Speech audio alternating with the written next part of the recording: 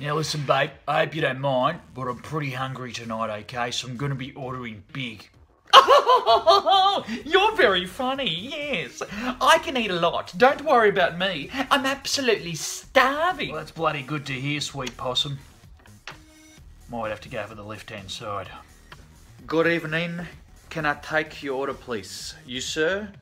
Yeah, listen, mate, uh, can I get two large capricciosos? Uh, Actually, make one of meat lovers. Uh, make that one family size. Uh, four garlic breads. A uh, chicken parma with extra chips and salad. Uh, one of those, uh, one of those rice ball arancinis. And uh, we'll throw in the dessert as well. Pretty hungry, yeah. Thanks, mate. Very good. And for you, madam? Hmm. I'll just go with the chicken Caesar salad, thanks.